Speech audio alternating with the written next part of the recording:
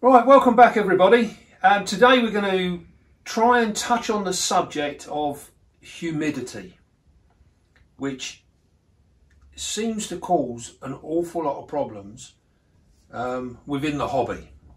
And I believe that the reason we're having so many problems, or people are having so many problems with humidity, is perhaps um, a lack of understanding of what humidity actually is and how it works and um, and how we achieve different sets of humidity depending on the species of spider that we're keeping or scorpion or whatever it might be. Everything requires a form of humidity of one description or another. Um, it's just different levels of humidity.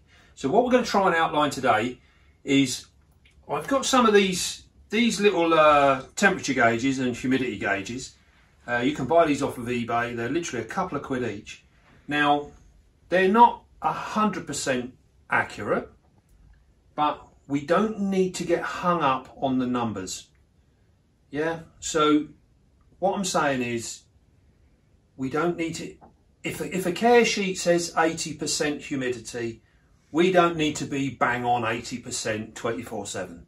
Yeah, there's a whole um, grey area around it, and it's the same with temperatures as well. Um, quite often, we you know the, especially for for new people into the hobby, it's too easy to try and follow a care sheet word for word and exactly. A care sheet is there to give you a guideline of the parameters that that particular species will hopefully do well in. Now, the uh, the parameters are really quite big.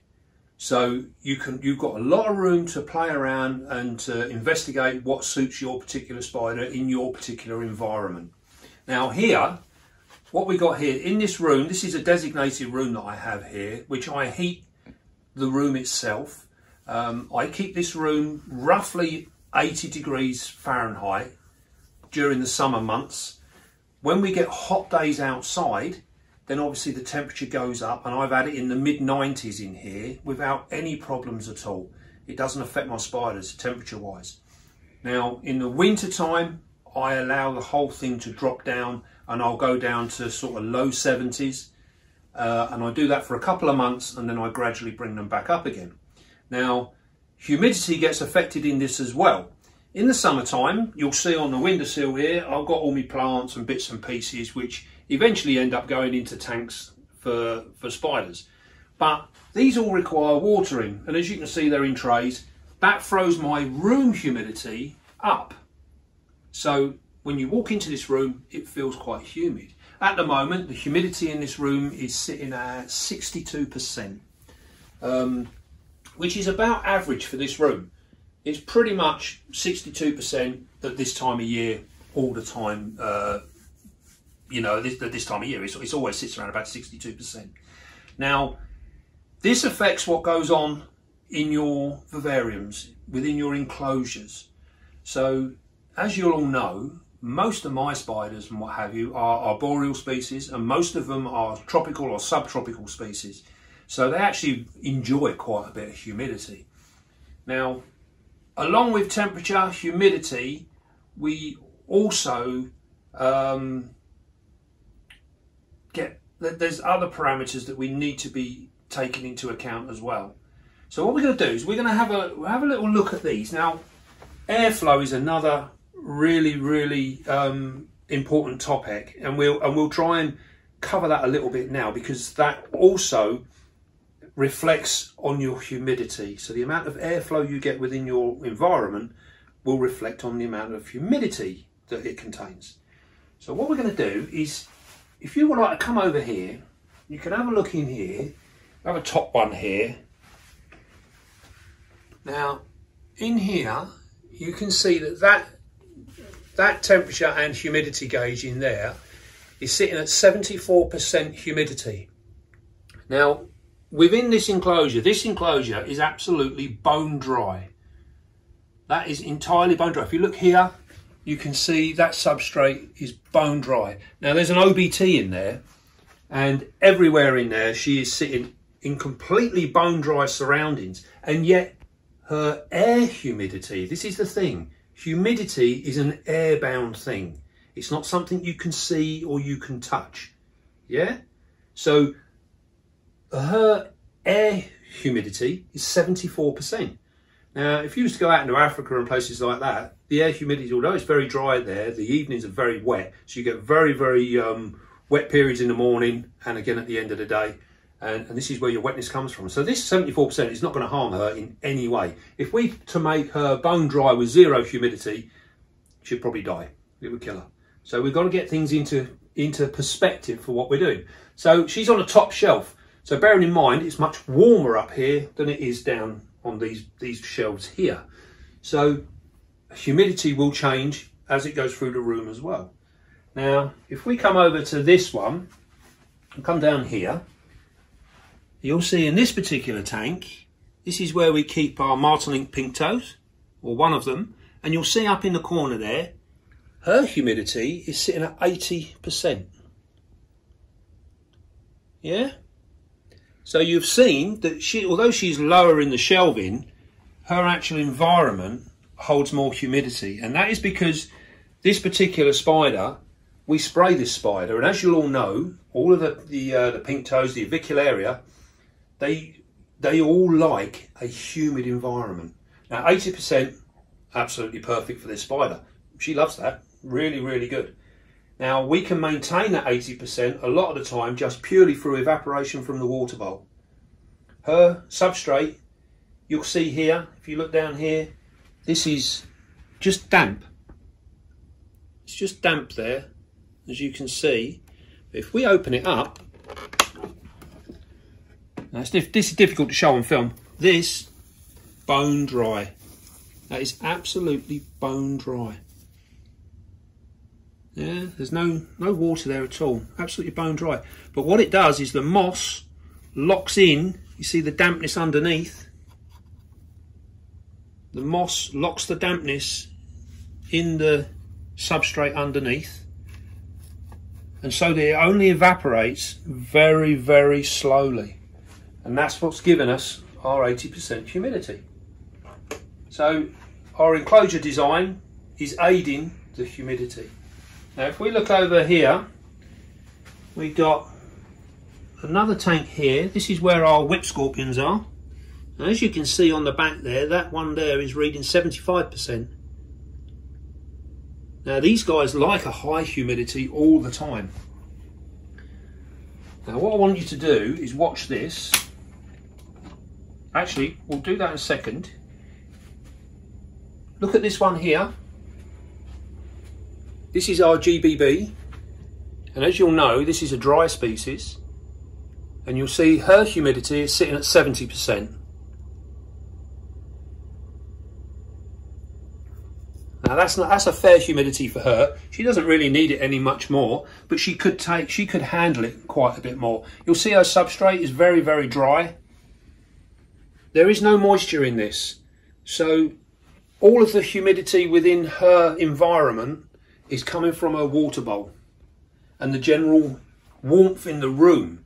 Don't forget, this room is sitting at 80 degrees Fahrenheit. So 80 degrees outside here, when it comes down to inside the tank, that's evaporating the water out of her bowl and that's what's given her 70%. It's still quite low, but she can handle that perfectly well. Now, when we look at completely dry species, if we come over here, we can have a look at this little fella here. This is a Sicarius terrosus, which is a six-eyed sand spider. And as you can see, she's patiently waiting for her meal to come and walk by. But if you have a look in the back there, you can see we've got a little temperature gauge there. Now she is absolutely bone dry. There's no water bowl, there's no nothing in there. And yet she is still sitting at 67%. Now, one thing to bear in mind with this particular species, if we was to put water in there, any kind of dampness in there, you're pretty much going to put a nail in our coffin. These guys do not like moisture at all. So keeping them bone dry is really, really necessary. But you notice we can keep her bone dry, but our air humidity, this is the important point, the, the, the humidity is in the air. It's not something we touch.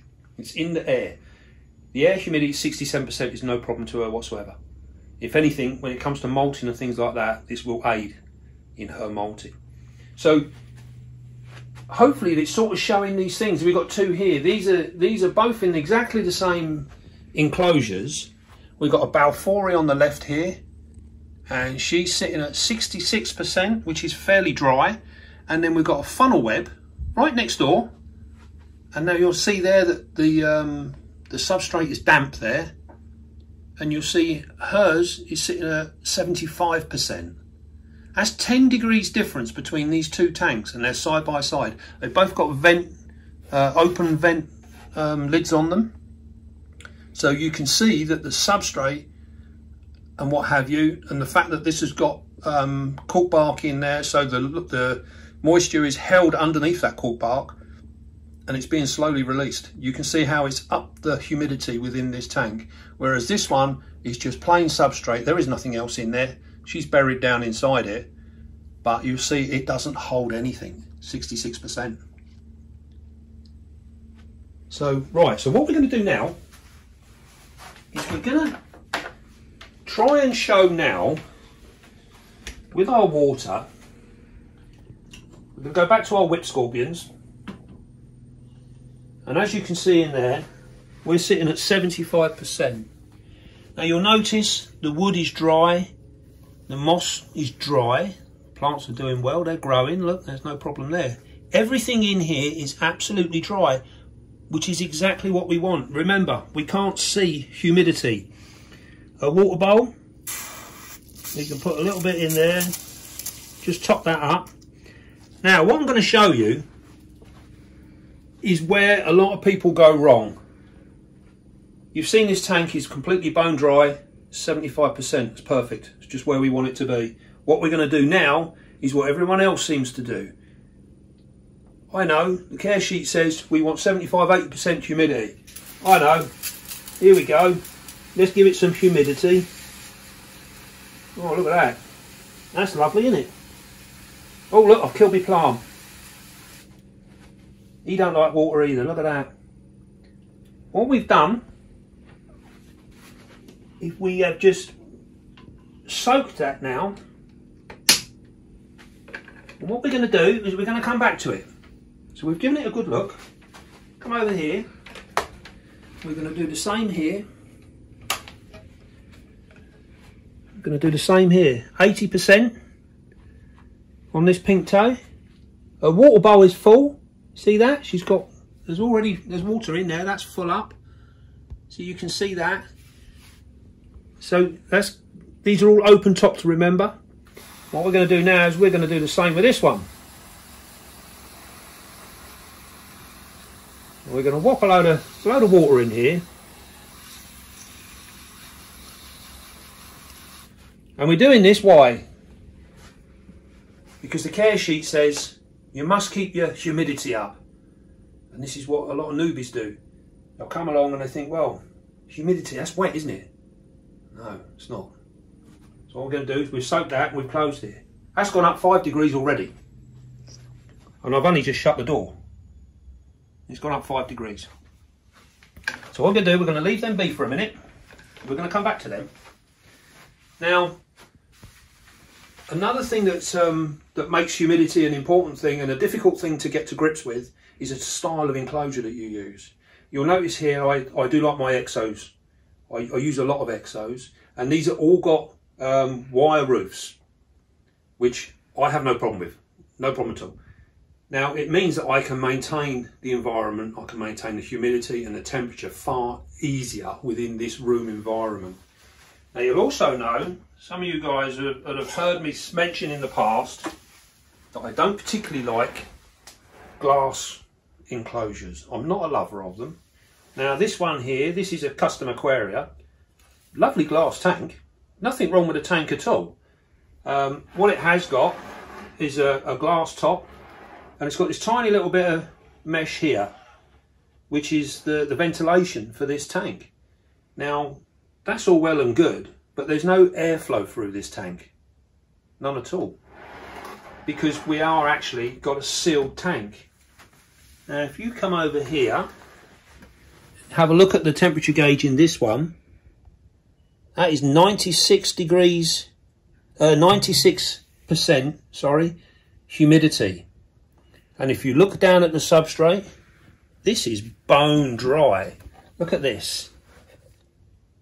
This is dry. Look at that. You know, it's, not, that's dust on my fingers. Look at that. It's not even sticking to my finger. Yeah, that's bone dry. Now what we got in here is uh, our Harpactira pulchripes, the golden blue leg baboon. All of this humidity within this tank is coming from this water dish. And the reason we are suffering, because this spider does not need this humidity. This is far too much humidity for this particular species of spider. These like to be kept reasonably dry. So as we saw earlier on, our OBT is another one that likes to be dry, but that's sitting at 70%. But the difference is that 70% with really good airflow, which makes it safe. Yeah? This is 95, 96% with zero airflow. You cannot get airflow with just a vent at the back. If we had a vent at the front as well, we would get airflow and it would be a, a, reasonable, you know, a good tank to keep it in. So what we're going to do is we're going to do another video and this girl here, we're going to catch her up and we're going to put her in a different enclosure. But I just thought I'd show you this because this is the totally wrong way to look after this spider. Yeah, because of the airflow. We've got no airflow, which also means we can't control the humidity. So this, as a setup, is a no-no. You know, this is bad news. We don't need to, we don't want to be doing this. So hopefully that will highlight the fact that a sealed glass tank is, is not a particularly good investment for any particular spider, if you like, um, because you've got that, that zero airflow. But we've noticed with all of the other tanks, these have all got vents on the tops. All of them are open topped and you're getting that airflow, you're, get, you're getting that movement which is very, very important, especially when you're looking at your tropical spiders, your subtropical spiders, all your arboreal stuff. It all likes a lot of humidity, but you also need the, the air movement within that to keep a safe environment. If you if you keep them like this, even an arboreal, a, a, a spider that loves a high humidity, if you've not got the airflow, you've got a stagnant environment, and that will kill your spider. And quite often or not, that is where most people lose their avicularies, is because they keep them too wet and there's not enough airflow. If you look at any of them that do well, their actual environment is dry. The humidity is within the air. I can't stress this enough. Right, so if we have a look, we'll go back now to the ones we've, we've uh, soaked. Bearing in mind, what was that, a couple of minutes? Look at this one. That now, that shot up to 95%. Yeah? 95%. This one, 89%. Now what we've done now, I've, I've soaked these particular tanks to try and show you that if you're seeing water on the side of your glass, things like this, if it's dripping, it's too wet. You can't keep your spiders full time in them conditions. That is not a humid environment, that is a wet environment. Two entirely different things. What I will say is, in this particular room and for my maintenance, I do spray mine once a week. I give them a good spraying, a bit like you've just seen, and that spikes the humidity way high. But I've got open air vents in all of these, and I can guarantee you within an hour all the sides will be dry and the moisture would have gone back down into the substrate and it will slowly be released again maintaining the humidity levels that you're reading today. We saw this at 80%. This has been like this since probably Tuesday. I normally spray either on a Saturday or a Sunday. These would have done last Sunday. Um, so it would have had Sunday and Monday. It would have been very, very high humidity, which isn't a problem on its own as long as it's allowed to dissipate and level out. And that's what we've done. So hopefully that's tried to highlight some of the some of the things with with humidity and understanding how it works. Um, it's a very difficult subject to try and show in in one short video. Um, uh, hopefully that's that's given you a little bit of an insight. Humidity is is it can be your friend or it can actually be your enemy. You need to get get your head round how it works. If you've got um, like for me, I'm lucky I've got this room. I, I can control this environment entirely. If you're um, you've got your spiders, say for argument's sake, in your bedroom, or maybe they're on a you know on a on a cupboard in the living room, you can still do the same thing, but your parameters are slightly different. So what you need to do is you need to be able to maintain your tank as a, a single unit. Um, it's a little bit harder, but it's not impossible. So what you can do is you've got this one unit here. If you're, for argument's sake, in my living room, my relative humidity in the air in my living room is probably about 40%, somewhere around there this sort of time of year. Um, so obviously my tank is going to be a lot lower than what it is in here. So all I need to do is make sure that I keep my humidity up and you can do that by using your substrate. Don't forget, you don't want to be soaking the whole thing. Use your water bowls or your substrate to create the humidity release. Yeah? So if you're struggling, put a slightly bigger water bowl in. Put a deeper water bowl in, so it takes a lot longer to evaporate. This will all help and, and keep your maintenance down to a, reasonable level. So um, yeah, so if you yeah if you put a, a bigger, and deeper bowl in there, you'll you'll get that evaporation slowly, which means that your humidity value within your tank will stay more consistent. Yeah. Um, and the same with heating, temperature wise, you need to work out how you're going to warm warm your um, enclosures to the maximum. Um, and and by doing that, if you've got them out on an open shelf, then obviously you need to run thermostats and things like this to keep to keep it absolutely where you need it to be. But it's much easier to do it in a room. Right then, I think we've sort of covered covered most things there, I hope. Um, it is, like I say, it is a very difficult subject to try and cover.